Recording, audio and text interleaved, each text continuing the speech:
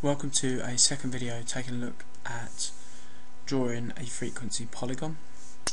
Uh, so here we're being asked to draw a frequency polygon to show the information contained in this table. So again all that we're doing is we're taking the midpoint and plotting that in line with the frequency. So we've got 0 to 4 first. So 0 to 4 has a frequency of 11 so that is just there.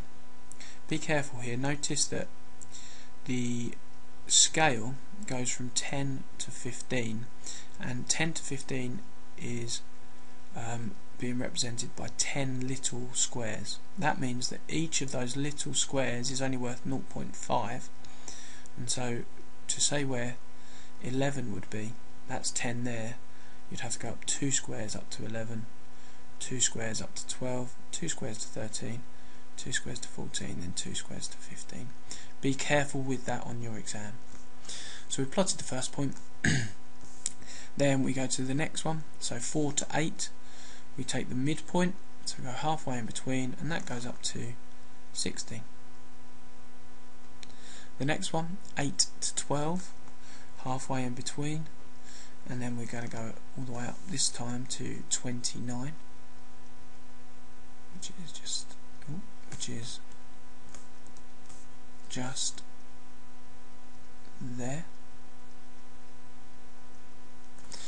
Then next one, 12 to 16, again take the midpoint and go to 26.